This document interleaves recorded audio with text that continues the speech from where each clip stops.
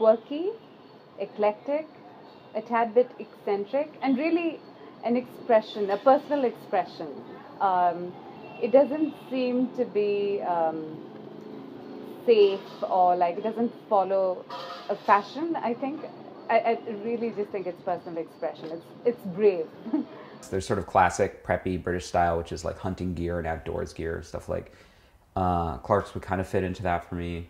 Uh, or like Barbour, you know, these sort of classic outdoorsy brands that are sort of a little bit preppy, a little bit tweedy. British style seems to be a little grittier for girls my age. Like they might wear more layers, like kind of ripped jeans, a little more into looking kind of edgy and downtown, versus American style, which I think of as kind of like the J. Crew look is kind of classic American look, and that's very clean, kind of colorful, quite feminine.